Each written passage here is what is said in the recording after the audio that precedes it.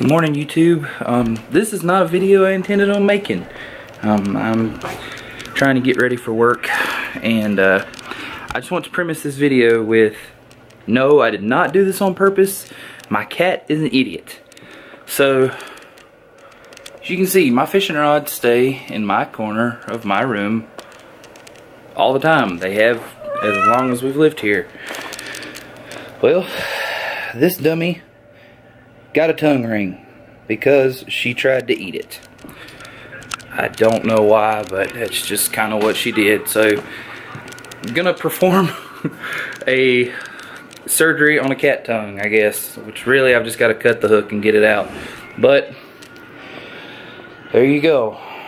What do you think about there, Summer? Not your happiest moment, I don't guess. Anyway, I guess I'm going to put you down and try to get this out of her and then I'll talk about it.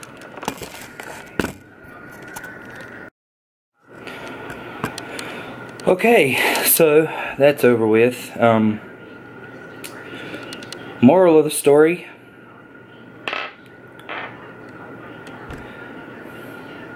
Little White Crappie Jig also works for cats.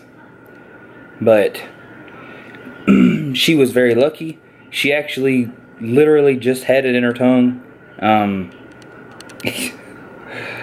I, I don't know what she was thinking or why she did that. That was the dumbest idea ever. And before PETA and everybody else comes after me, there was one hook in the eye of the fishing rod, and then there the other hook was actually in the cork of the fishing rod, and just the dumbest thing ever.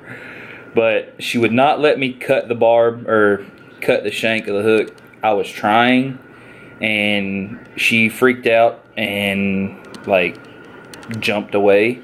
Um, so she removed her own hook, which is great, and cut me, but that's fine. Whatever. I'll be okay.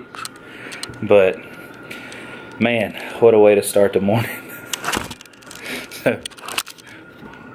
I hope y'all have a good day, and uh, guess we'll talk to you soon.